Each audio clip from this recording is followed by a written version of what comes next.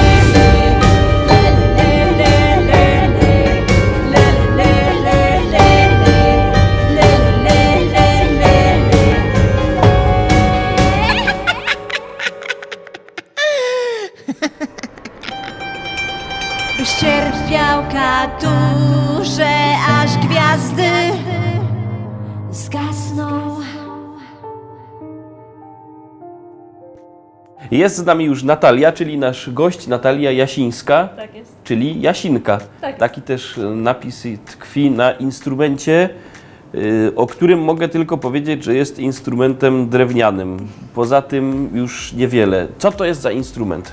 No oprócz tego, że jest instrumentem drewnianym, jest jeszcze instrumentem smyczkowym i instrumentem strunowym. Strunowym. A także, co jest bardzo nietypowe, jest też instrumentem klawiszowym. A tak naprawdę jest, są to tangenty, ponieważ jest to y, szwedzka nyckelharpa. Jest to tradycyjny szwedzki instrument, wywodzi się ze średniowiecza. Jest to em, aktualny instrument, na którym gram i wykonuję swoją muzykę. Poważnie na tym grasz? Tak. I to działa? Działa, musi działać. Dobra, zaraz będziemy na tym grać, to znaczy ty będziesz na tym grała, ja będę słuchał, nasi widzowie też będą e, słuchali. E, Tylko to nie wybuchnie. Dobra. Na razie e, powiedz mi, skąd w ogóle pomysł, żeby grać na instrumencie, którego większość naszych widzów, przypuszczam, nawet nie tyle, nie tyle, że nie widziała, ale nie wie o jego istnieniu. Właśnie dlatego, żeby robić coś oryginalnego, ale też nie ukrywam, że wzięło to się trochę z popkultury, gdzieś tam z Wiedźmina, trochę z serialu Wikingowie. Y, Gdzieś mnie ta kultura bardzo zainspirowała, gdzieś ten powrót do tradycji, do słowiańskości. I postanowiłam zamówić taki instrument, który posiada bardzo nietypowe, niskie brzmienie. Zaraz y, zaprezentuję. I po prostu chciałam robić coś oryginalnego, zająć się muzyką, gdzieś wrócić do tego, za czym ludzie tęsknią. Mi się wydaje, że zawsze ludzie tęsknią za takimi dźwiękami gdzieś natury, bardziej, bardziej mm, folkowymi, tradycyjnymi. Okej, wracamy jeszcze do teledysku, który przed momentem obejrzeliśmy. Piosenka o panu Lusterko. Y, Powiedz coś o tym, nim będziemy na tym grać. Dobrze. Piosenka o panu Lusterko to jest y, pierwszy cover y, utworu z Wiedźmina. Jest to też pierwszy utwór, który zrobiłam y, wraz z Pawłem Dyjanem. Y, I tak naprawdę ten utwór zapoczątkował dokładnie to, czym zajmujemy się teraz, czyli właśnie tą muzyką, tym powrotem do tradycji i próbujemy wynieść to na taki poziom neo, dlatego ja nazywam tą muzykę neofolkiem. Neofolk. Tak jest. Okej, obejrzymy sobie y, teraz kolejny twój teledysk i będziemy na tym grać. Dobrze. No to patrzymy na teledysk.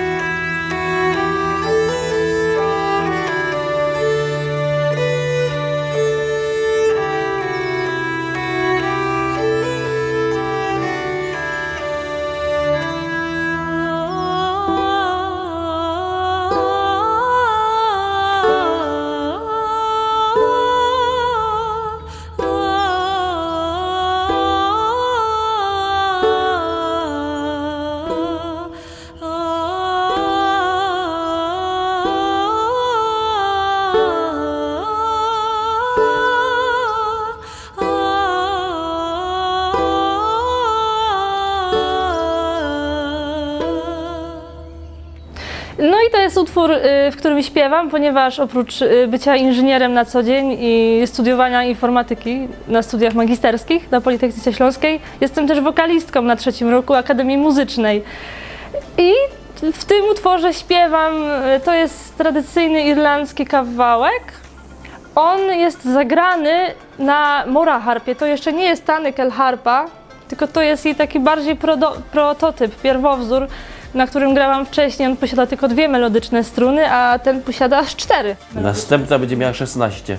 No, Bo to idzie do kwadratu, widzę.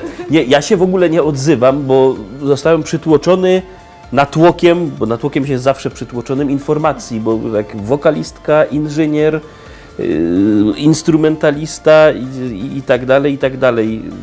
Gotujesz też, czy nie? nie, nie umiem gotować, jest to moja pięta achillesowa. Jednej, jednej, rzeczy, jednej rzeczy, której nie robisz. Yy, Okej, teledysk mi się bardzo podobał, utwór mi się bardzo podoba. I teraz pytanie, czy to naprawdę zagra? Zagra. Zagra? Tak jest. To gramy. To gramy.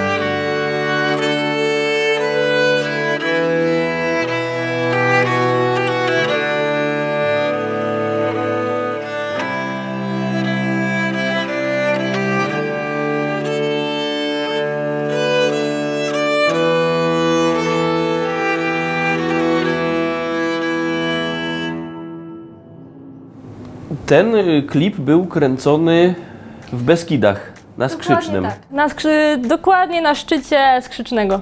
Jechaliśmy kolejką. Kiedy? W lutym to było, pod koniec lutego, w takie już ostatnie podrygi zimy, kiedy jeszcze trochę śniegu, chociaż nie, bo tam śnieg w sumie leży cały czas prawie, że chyba. Ale powiedzmy, że na, na dole śniegu już nie było, albo przynajmniej mało. Już jakieś takie pozostałości raczej, a tam nam się udało wstrzelić w taki ostatni weekend, że nie dość, że było w miarę ciepło, to jeszcze było full śniegu. Bo ogólnie kiedy zaczęłaś swoją przygodę z muzyką? No, przygodę z muzyką to ja w ogóle zaczęłam dawno, dawno temu, bo w wieku 7 lat zapisałam się do szkoły muzycznej.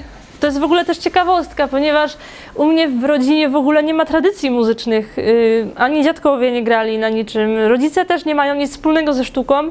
Można powiedzieć, że ja byłam pierwsza. Jesteś prekursorem.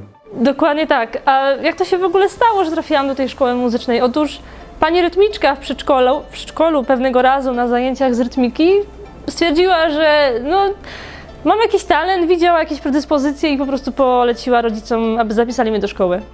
I cię zapisali do szkoły muzycznej, którą ukończyłaś Tak w jakiej klasie?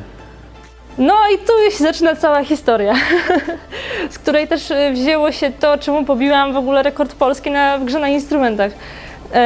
Zaczęłam y, szkołę muzyczną na skrzypcach. Niestety nie przykładałam się za bardzo. Potem zmieniłam instrument na klarnet.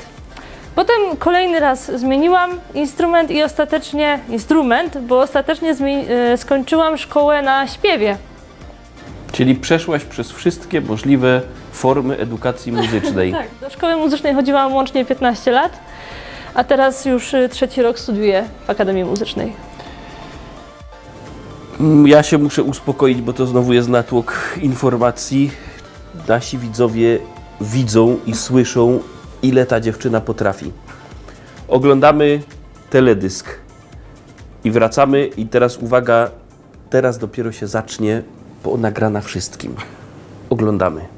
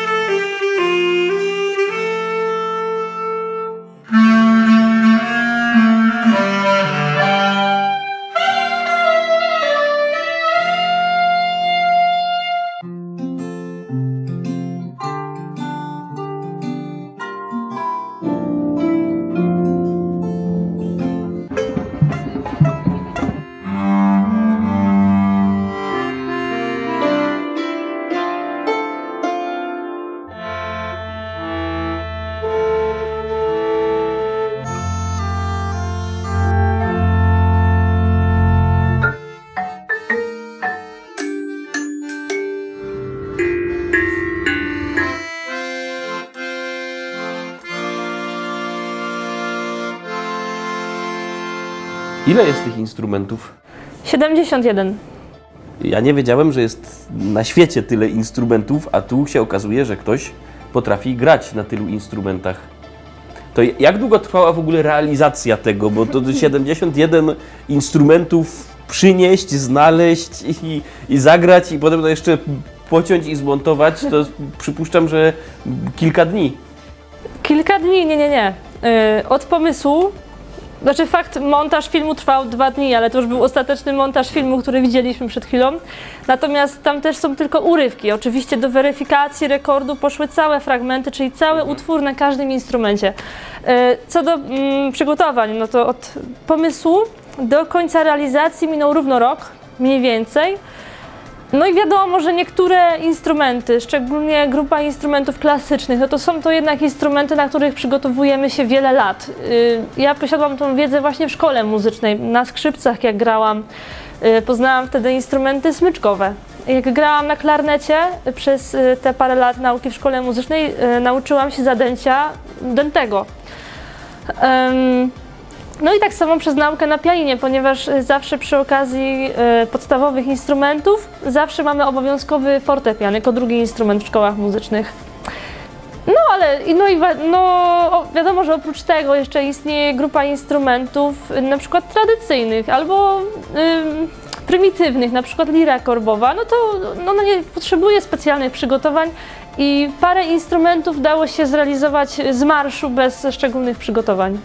No Powiem szczerze, że tak jak siedzę w branży rozrywkowo-muzycznej od dwudziestu paru lat, to jeszcze nie spotkałem chyba nikogo, kto by do realizacji klipu jakiegokolwiek przygotowywał się rok i żeby to rok trwało. I tu naprawdę pełen szacun. Lecimy dalej. Muszę odetchnąć. Oglądamy następny teledysk, yy, który jaki ma tytuł? Ladies of the Woods. No to oglądamy.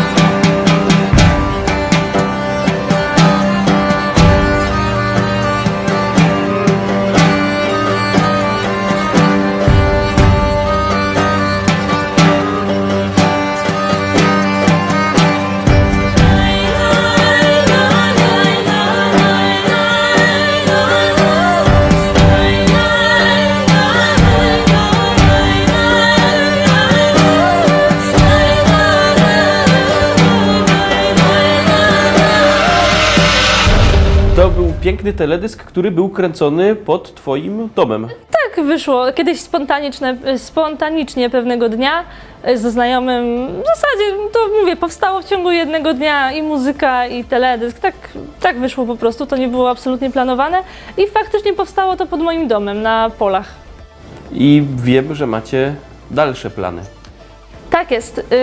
Wraz z Pawłem Dyjanem, y, tą muzyką, o którą, którą się obecnie zajmujemy, czyli tym neofolkiem, e, planujemy wydanie płyty. Już jesteśmy na bardzo zaawansowanym etapie. Powstało już kilka utworów i co ważne, myślę, że jest to taka mm, nowinka w branży muzycznej, znaczy ja się jeszcze z tym nie spotkałam. E, O co chodzi? Chodzi o to, że każdy z pierwszych pięciu teledysków będzie ze sobą połączony fabularnie. Mamy już parę teledysków nakręconych. Są to piękne ujęcia z Wolińskiego Parku Narodowego, ponieważ będzie to tematyka e, nawiązująca właśnie do mitologii słowiańskiej, do mitologii celtyckiej. Będzie o Pani Jeziora, poranna mgła, Woliński Park Narodowy, e, lasy, jeziora, piękne widoki. Myślę, że mm, wielu słuchaczy, że wielu słuchaczom to przypadnie do gustu. Kiedy możemy się spodziewać ż- ukończenia całego tego projektu? Myślę, że ukończenie projektu jeszcze by trzeba poczekać, y, ponieważ jesteśmy gdzieś w połowie prac. Na pewno jeszcze parę miesięcy na, chcemy zrobić tego long play, czyli jeszcze parę utworów musimy stworzyć, y, dokończyć poprzednie teledyski. Mm, mamy jeszcze jedną szantę, którą też chcemy nagrać y, w większym gronie, w towarzystwie przyjaciół, przy ognisku z gitarą. Czyli roboty trochę przed Wami jest. Troszeczkę jeszcze zostało. Okej, to umawiamy się, że jak to będzie gotowe, to znowu do nas przyjeżdżasz. Jak najbardziej. To w takim razie jesteśmy umówieni.